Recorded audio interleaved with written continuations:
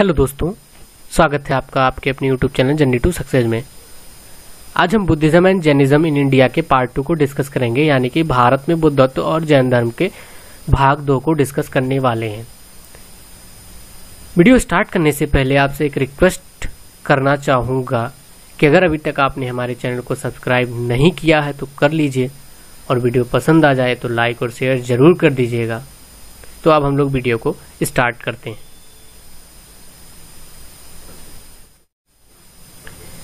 सबसे पहले इतिहास, जैन रिलीजन के बारे में पढ़ेंगे, लेकिन उससे पहले जैन। जैन को लिया कहाँ से गया? तो जैन का मतलब होता है जिन। और जिन का मतलब क्या होता है? बिनर। कहाँ से लिया गया जैन? जैन को जिन शब्द से लिया गया, उसका मतलब बिनर, यानी कि विजेता। किसके द्वारा फाउंडेड किया गया? कि तो ये फाउंडेड बाई ऋषभनाथ। इसमें जैन धर्म में ये कहा जाता है कि 24 तीर्थांकर थे। कितने? 24 तीर्थांकर। अब आपके दिमाग में ये बातें आती होंगी कि तीर्थांकर क्या होता है? तो तीर्थांकर का मतलब होता है एडवाइजर मतलब सलाहकार जो आपको रास्ता दिखाए, जो किसी भी व्यक्ति को, दूसरे व्यक्ति को सलाह दिखाए, उसे हम लोग एडवाइजर यानी कि तीर्थांकर बोलते हैं। तो अब आपको समझ में आई? तो जो पहले तीर्थांकर थे, जो मतलब जो फाउंडर होंगे, वही पहले तीर्थांकर होंगे तो जैन के फाउंडर कौन हो गए? ऋषभनाथ हो गए। तो पहले तीर्थांकर कौन हो गए? ऋषभ और जो इनका चिन्ह है एम्बलम है, वो क्या है? बुल। क्या है? बुल। दूसरे तीर्थांकर। चौबीस में से सिर्फ़ शुरुआत के तीन और लास्ट के दो तीर्थांकर इंपॉर्टेंट है और वो पूछे भी जाते हैं। तो पहले आपके हो गए ऋषभ देव, इनका एम्बलम इनका चिन्ह क्या हो गया? बुल। सेकंड तीर्थांकर आपके अजीत नाथ और तीसरे आपके संभवनाथ हो गए। अच्छा उसके बाद ट्वेंटी थर्ड कौन से हैं? आपके पार्श्वनाथ हो गए। ये किसके पुत्र थे? तो ये अश्वसेन एक राजा हुआ करते थे बनारस के। उनके पुत्र थे और इनका एम्बलम इनका चिन्ह क्या है? स्नेक है, सांप है। चौबीसवें लास्ट हम बात करें तो वर्धमान महावीर थे, कौन थे? महावीर थे। इनका एम्बलम, इनका चिन्ह क्या था? लायन। अब हम जैनिज्म के बारे में पढ़ेंगे, महावीर स्वामी के बारे में पढ़ेंगे, जो कि इसके फाउंडर रियल फाउंडर माने जाते हैं। चाइल्डहुड नेम इनका, वर्धमान।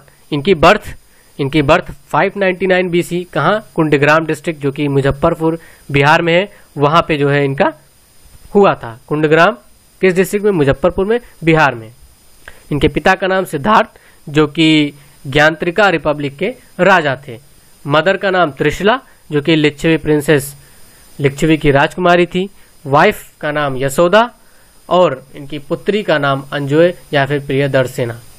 इनके दामाद का नाम जमाली। इन्होंने अपने परिवार को 30 साल के उम्र में त्याग दिया। जब इनके माता पिता की डेथ हो जाती है, मृत्यु हो जाती है।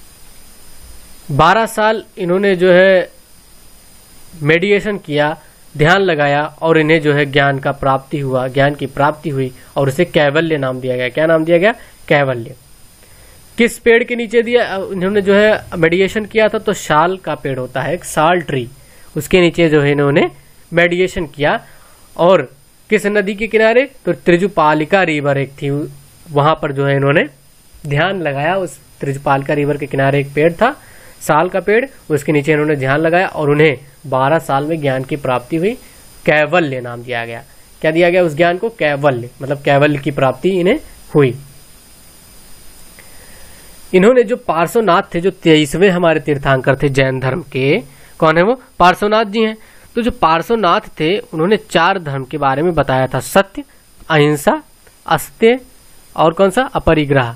ये चार चीज़ें बताई थी उन्होंने। इन्होंने क्या किया? एक पांचवा और उसमें ऐड कर दिया। क्या ऐड किया? ब्रह्मचार्य। क्या ऐड किया? ब्रह्मचार्य। अदर नेम्स क्या हैं इनके? महावीर को और किन किन नामों से जाना है जिन जिनका जिनका मतलब क्या होता है? मैंने भी बात किया ना। जैन जैन जैन कहाँ से आया? जिन, जिनका मतलब बिनर, यानी कह सकते हैं विजेता। आरहट से जाना जाता है इनको। उसके बाद नीर ग्रंथ के नाम से, कैलविन के नाम से जाना जाता है इन्हें, और नाथपुत्र के नाम से जाना जाता है। जैन धर्म के तीन रत्न, या हम कहें तीन ज्वेल्स इन्होंने क्या बताए, उसके बारे में हम लोग जान लेते हैं त्रिरत्न के बारे में। Right faith. क्या चीज़? Right faith. उसके बाद आपका, यानी कि अम्यक दर्शन, साम्यक दर्शन, राइट फेथ, साम्यक दर्शन। राइट नॉलेज, साम्यक ज्ञान। राइट एक्शन, साम्यक आचरण। यानी कि आप सम्यक विश्वास रखो, यानी कि सच्चाई में विश्वास रखो, ना कि बुराई में विश्वास रखो। राइट नॉलेज सम्य ज्ञान, यानी कि अच्छी चीज़ों का नॉलेज ग्रहण करें। राइट एक्शन अच्छे कार्य करें, बुरे कार्य ना करें, ऐसे कार्य करें जिससे किसी को हर्ट ना हो, जिससे किसी को जो है दुख ना हो, कष्ट ना हो। उसके बाद इस्ताद इस्ताद वड़ या फिर इनके कहते हैं अनेकतावाद। महावीर के द्वारा बताया गया किसके द्वारा? इस अनेकतावाद, या ये पूछता है आपका इस्ताद वड़ा इस्तादवाद इसको बोलते हैं या इस्ताद वड़ा जैसा लिखा रहा है? आप जैसा पढ़ सकते हो, आप जैसा भी। या अनेकतावाद किसके द्वारा? महावीर के द्वारा। और बहत्तर साल की, यानी 72 वर्ष की उम्र में 72 ईयर्स की एज में इन्होंने जो है निर्वाण मतलब यानी कि हम कह सकते हैं कि इनका डेथ निर्वाड़ा उसको हम बोलते हैं, इनके डेथ को क्या बोलते हैं? निर्वाण। कहाँ पे किया इन्होंने? पावापुरी में, इन ईयर चार सौ अड़सठ BC four sixty eight BC में। जमाली इनके जो इनके सनिल्ला थे, इनके जो पुत्री थी, उनके कहे हस्बैंड थे सनिल्ला इनके दामाद जो थे, जमाली, वो इनके पहले शिष्य बने। और जो चंदन थे, क्या नाम था? चंदन, वो इनके फ़र्स्ट कैजर, यानी कि फ़र्स्ट इनकी भिक्षुड़ी, इनकी क्या? भिक्षुड़ी बनी। अच्छा मेन पीपल्स इनके जो मुख्य, इनके जो शिष्य माने जाते थे, वो ग्यारह, और उस ग्यारह को, जो उस ग्यारह का समूह था, उसको क्या कहा जाता था? गांधर। क्या कहा जाता था? गांधर। अच्छा। जब महावीर का डेथ हो जाता है तो सुधर्मन, वो जो है जैन यूनियन के जो जैन संघ रहता है, उसके क्या बन जाते हैं? चेयरमैन बन जाते हैं, अध्यक्ष बन जाते हैं। जैन सेक्स के बारे में हम लोग पढ़ेंगे, जैन वर्ग का क्या है। दो सेक्स दो वर्ग थे जैन के, दिगांबर और श्वेतांबर।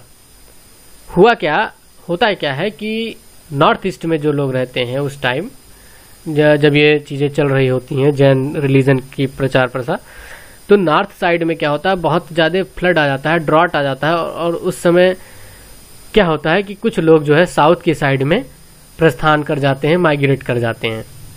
तो हुआ क्या, जब वो लोग साउथ की साइड में चले गए तो व्हाइट ड्रेस पहनना शुरू कर देते हैं, इसलिए उन्हें श्वेतांबर कहा गया, और जो लोग नॉर्थ के साइड में थे, उन्हें दिगाम्बर कहा गया। दोनों, क्योंकि डिफरेंस दोनों में हो जाता है जब वो लोग कुछ लोग यहाँ से माइग्रेट कर जाते हैं।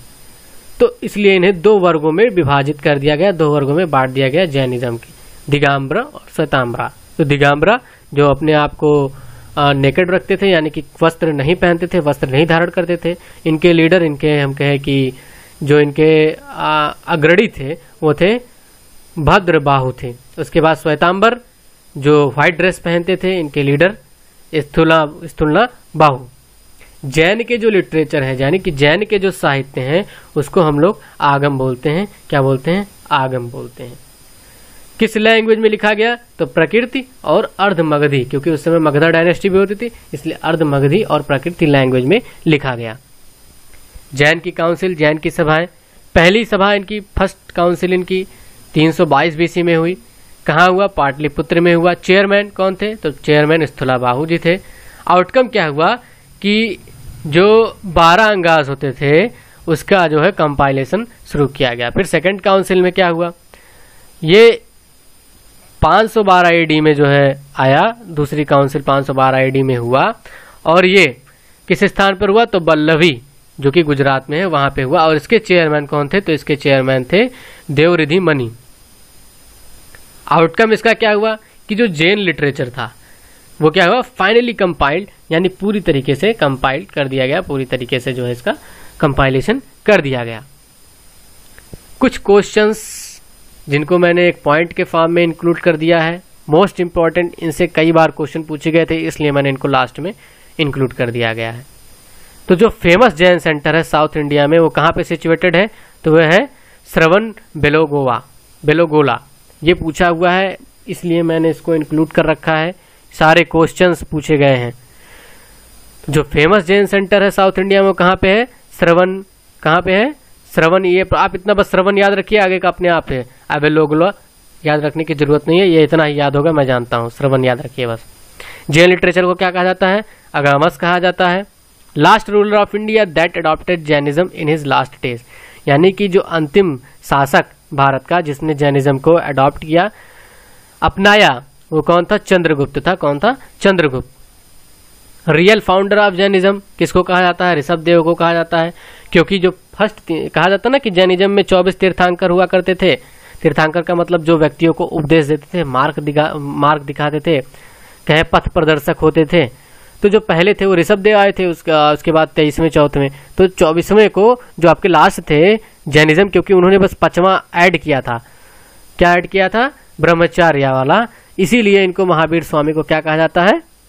फाउंडर ऑफ़ जैनिज्म कहा जाता है। और रियल फाउंडर किसको कहा जाता है? ऋषभ देव को। ये क्वेश्चन का हेर फेर कर देता है कि अगर रियल फाउंडर आ जाए तो ऋषभ देव लिखोगे, और फाउंडर आ जाए तो महावीर स्वामी लिख करके आओगे। उसके बाद एक क्वेश्चन और पूछा जाता है क्लासिक जीविका चिंतामणि, जो कि तमिल में लिखा हुआ है, ये किससे एसोसिएटेड है? तो ये जैनिज्म से एसोसिएटेड है। किससे एसोसिएटेड है? जीविका चिंतामणि, तमिल में लिखा गया है। जैनिज्म से एसोसिएटेड है। और जो दिलवारा टेंपल है, कहाँ पे? माउंट एव्यू राजस्थान में। वो किसके फॉलोअर्स के द्वारा बनाया गया था? तो वो जैनिज्म के फॉलोअर के द्वारा बनाया गया था। कौन सा? दिलवारा टेंपल जो कि माउंट एव्यू राजस्थान में है। वो किसके फॉलोअर के द्वारा बनाया गया था? जैनिज्म के फॉलोअर के द्वारा बनाया गया था।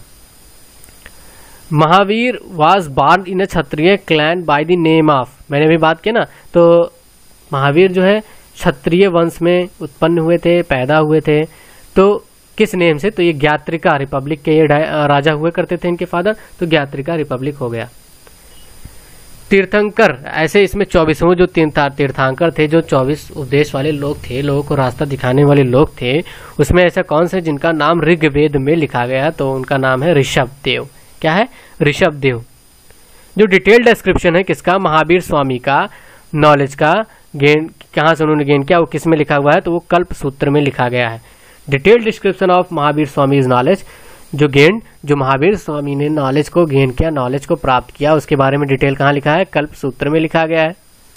Mountain which is considered sacred in Jains यानी कि जैन धर्म में ऐसा कौन सा पर्वत है जिसे पवित्र माना जाता है? तो वो चंद्रगिरी माउंटेन है। कौन सा है?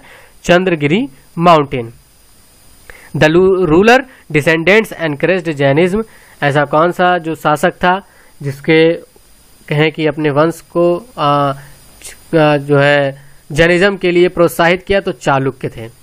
नाई थ्योरी ये मिल गया ये भी पूछा जाता है कभी कभार कि Naya theory N Y Naya theory is related to which religion from Jainism तो किस किस रिलीजन से ये नाई थ्योरी आपका रिलेटेड है संबंधित तो जैनिज्म से फ्रॉम जैनिज्म से। इसी के साथ वीडियो समाप्त होती है। अगर वीडियो पसंद आया हो तो लाइक और शेयर ज़रूर कीजिएगा और हाँ आप हमारे टेलीग्राम चैनल को भी ज्वाइन कर सकते हैं। लिंक आपको वीडियो को डिस्क्रिप्शन में मिल जाएगा। और अभी तक आपने हमारे चैनल को सब्सक्राइब नहीं किया तो सब्सक्राइब कर लीजिए। वीडियो पसंद आया हो तो लाइक और शेयर ज़रूर कीजिएगा।